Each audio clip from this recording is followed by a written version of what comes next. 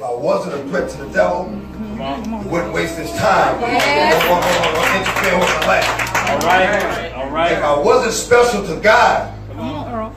how would I know what he's willing to do for me? We know what he's able to do. Uh-huh. The word says all things are possible through Christ who strengthens us. Amen. But how could you know what he's willing to do until you've been placed in a situation where you need him to do it for you? If you haven't been somewhere where you need God to, to, to, to get you out of the situation, you wouldn't know what he's willing to do for you. We know what he's able to do, but we, we, we won't know what he's willing to do until we're there. Wisdom. So I say, miracles only happen on a platform of a tragedy. All right. Amen. Miracles only happen on a platform of a tragedy. Yes. If there's not a difficult situation, if there's not a situation that you that you can't possibly see getting through on your own, then where's the potential for the miracle? Uh-huh. If it wasn't that difficult, it would be just another situation that you got through. A little bit of time. But because it was it was something something bigger than you, something that that that that that, that you know took more than you to get you through. Because it was that. I'm not saying that that that that, that God made these situations happen, but He allowed them to happen just so He can show you what He's willing to do for you. Just so He can show you what He's willing to do for you. So now I embrace difficult situations. I praise God for difficult situations. I thank God for difficult situations. It's through these difficult situations that I see what He's willing to do for me. On a daily basis. On a daily basis. On a daily basis. Man, it get rough. I praise God. It go wrong. I praise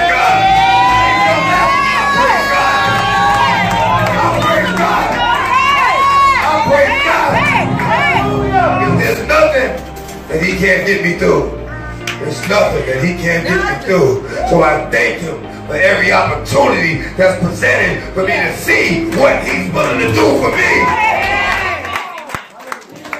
Thank you. Thank you. I thank you for the opportunity.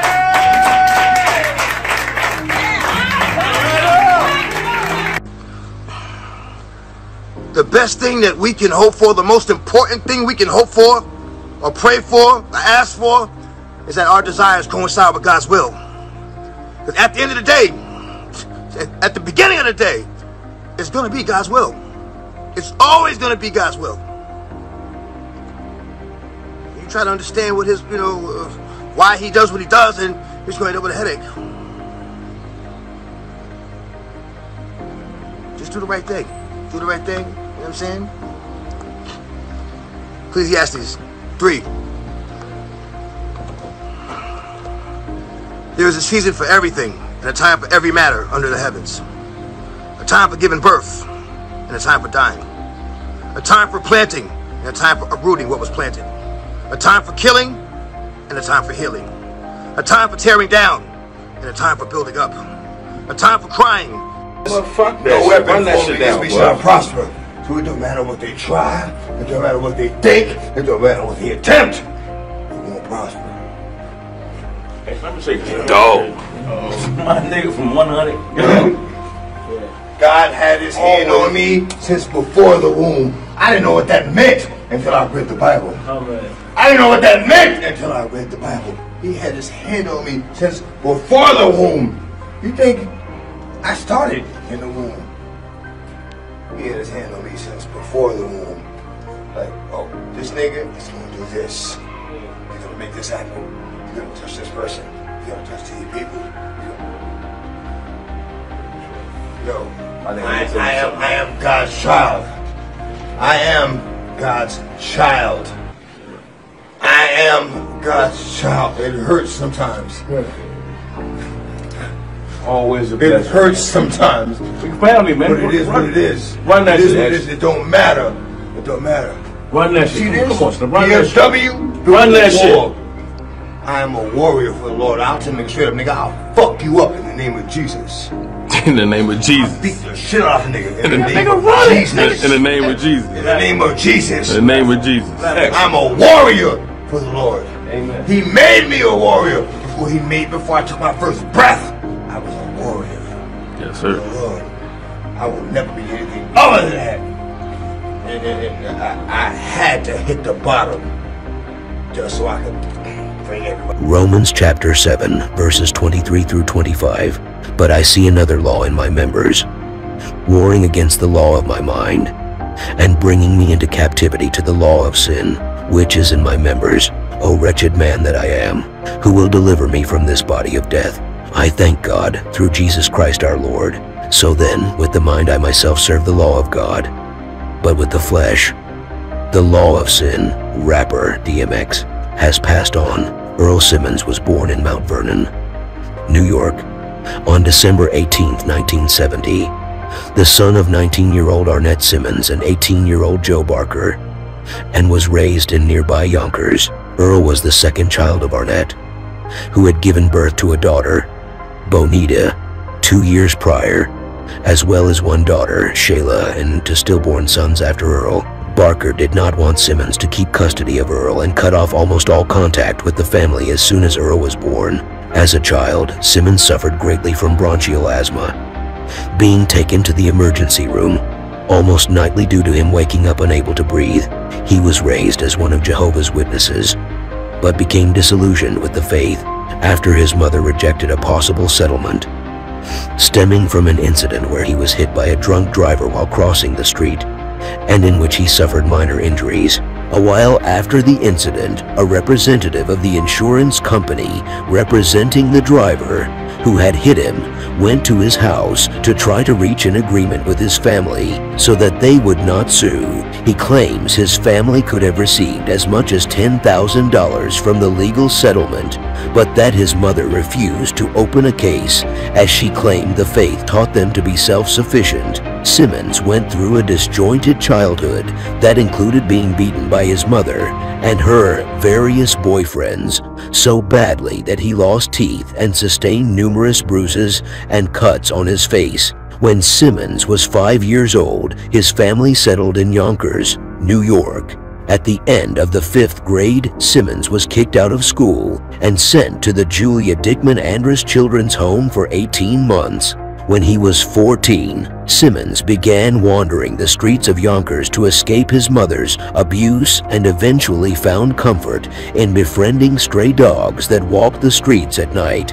Shortly after he began doing this, his mother once again sent him to a boys' home. During his stay at the boys' home, Simmons bonded with other students from New York over their shared love of hip-hop music. After performing for his friends, they encouraged Simmons to continue writing music at the behest of his teacher. When he returned home, Simmons met Ready Ron, a local rapper, who, impressed with Simmons' beatboxing skills, asked him to become his partner. Simmons chose the name DMX, which came from an instrument he had used at the boys' home, the Oberheim DMX drum machine. It later was also interpreted as Darkman X. This shortly after would led to the beginning of a very successful rap music career.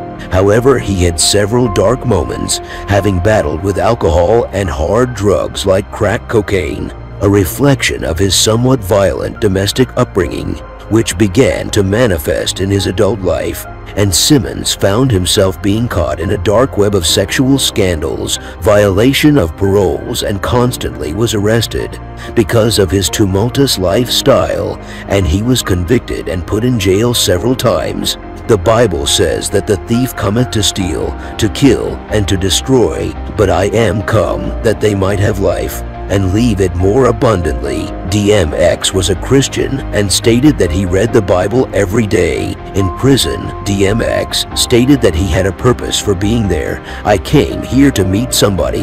I don't know who it was, but I'll know when I see him. And I came here to give him a message. And that message is Jesus loves them. DMX was a transitional deacon in the Christian church and aspired to become ordained as a pastor, stating that he received this call in 2012. Rapper DMX led thousands of his followers in a Bible study over the weekend in hopes to calm down the anxiety brought on by the novel coronavirus pandemic. The Instagram live video reached 14,000 viewers, while live and then thousands more after, as Earl Simmons, better known by his stage name DMX, recited scriptures from the book of Ecclesiastes while holding a cigarette. A time for embracing and a time to avoid embracing, he said in his iconic raspy voice talking about social distancing. A time for embraces and time for avoiding embraces. The New York native, who admittedly has lost people to COVID-19, told his audience to keep the faith and believe in the will of God. At the end of the day, at the beginning of the day, it's going to be God's will, DMX continued. If you try to understand why he does what he does, you're just going to end up with a headache. Just do the right thing. He encouraged the thousands watching to get their lives right with God and follow Jesus. The mainstream rapper has never shied away from sharing his Christian faith, and his recent Bible sent his fans into a holy frenzy. Many of them thanked him for leading people to Christ, others asked for more Bible studies. The hip-hop artist, whose lyrics are sometimes vulgar, has recorded several songs talking about his Christianity, including Lord, Give Me a Sign, and Damien. DMX has openly said in the past that he wants to become a pastor. In a video posted on Facebook in 2016, he stated that his dream of becoming a minister is slowly becoming a reality. The video showed the MC behind a pulpit preaching about the miracle that is birthed from tragedy. If I wasn't a threat to the devil, he wouldn't waste his time. If I wasn't special to God, how would I know what he's willing to do for me? We know what he's able to do. The word says, all things are possible through Christ who strengthens. Amen. DMX exclaimed. So we know what he's able to do. How can you know what he's willing to do until you've been placed in a situation where you need him to do it for you? If you haven't been somewhere where you need God to get you out of the situation, you wouldn't know what he's willing to do for you. We know what he's able to do, but we won't know what he's willing to do until we're there. The hip-hop recording artist has had many public mishaps from a drug overdose to various arrests, and in his sermonette he said tragedy is in fact what has brought him closer to God. So now I embrace difficult situations. I praise God for difficult situations because through these situations I see what He's willing to do for me on a daily basis. If it gets rough, I praise God. It goes wrong, I praise God. It goes left, I praise God. I praise God because there's nothing that He can't get me through, so I thank Him for every opportunity that is presented for me to see what He's willing to do for me, DMX concluded. On April 2, 2021, at approximately 11 p.m., Simmons was rushed to a hospital in White Plains, New York, where he was reported to be in critical condition following a heart attack at his home, possibly resulting from an overdose. The next day, his attorney, Murray Richman, confirmed Simmons was on life support. That same night, tabloid journalism outlet TMZ, who first reported on the hospitalization, stated that Simmons had suffered oxygen deprivation to his brain. As paramedics attempted to resuscitate him for 30 minutes, Simmons' former manager, Nakia Walker, said he was in a vegetative state with lung and brain failure and no current brain activity, his manager, Steve Rifkind, stated Simmons was comatose and that he was set to undergo tests to determine his brain's functionality, which would allow his family to determine what's best from there. On April 9, 2021, Simmons had reportedly lost functionality in multiple essential organs, including his lungs. Simmons was pronounced dead later that day, age 50, according to a statement released by his family. May his soul rest in peace. This is not a time to judge. Through his online Instagram ministrations to his followers, he won more people to Christ than most people will ever do. At this time, rather than wonder which part of eternal life he ended up in, pray for the peace and unity of his family. Have you accepted Jesus Christ as your Lord and personal Savior? If your answer is no, you must realize that Christ will come again to judge the living and the dead. Repent. And receive Jesus Christ today as Lord, and receive mercy and peace that no one, not even any possession, can give you. God bless you. Kindly meditate on this scripture, Luke chapter 13 verses 29 through 30, and people will come from all over the world, from east and west, north and south, to take their places in the kingdom of God. And note this, some who seem least important now will be the greatest then, and some who are the greatest now will be least important then.